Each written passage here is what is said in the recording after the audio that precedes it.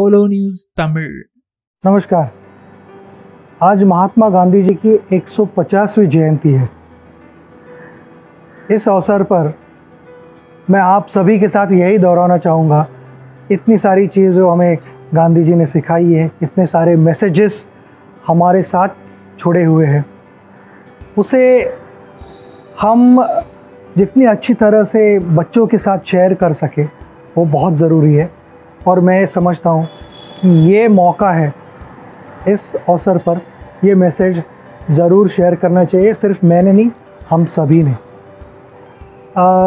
Messages जैसे कि अहिंसा समानता मैं कहूँगा स्वच्छ भारत स्वस्थ भारत इन सारी चीज़ों पे उनका फोकस था।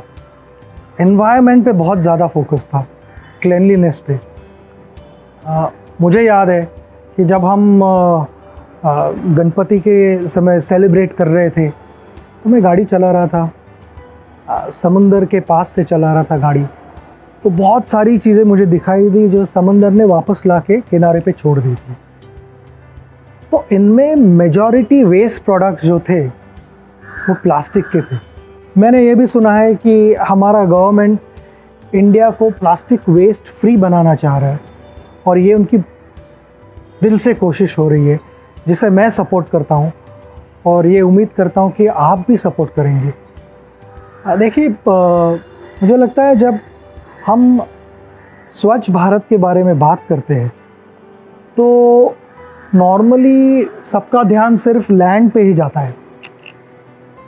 अगर आप देखोगे कि हम कब सेफ़ और सिक्योर फील करते हैं, जब हमारे इंडियन आर्म फोर्सेस हमें सुरक्षित रखते हैं। तो वहाँ पे सिर्फ़ लैंड नहीं है, वहाँ पे लैंड है, पानी है एयर भी है। तो air space Indian air force हमें प्रोटेक्ट करती है। लैंड पे हमारी जो आर्मी है वो करती है।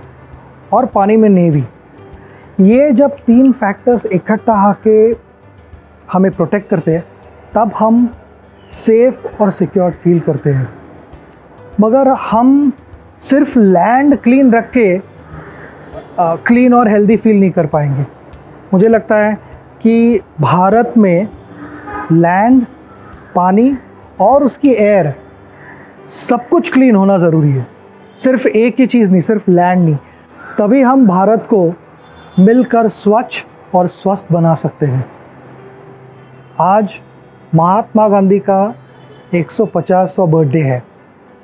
अगर हम बड़ी बर्थडे गिफ्ट देना चाहेंगे तो इससे बड़ी कोई बर्थडे गिफ्ट वो नहीं मांगेंगे भारत को स्वच्छ और स्वस्थ बनाने की तो आओ मिलकर सब कोशिश करते हैं जय हिंद இது போன்ற சுவாரஸ்யமான செய்திகளை நீங்கள் அறிந்து கொள்ள ஃபாலோ நியூஸ் தமிழை மறக்காமல் சப்ஸ்கிரைப் செய்யுங்கள்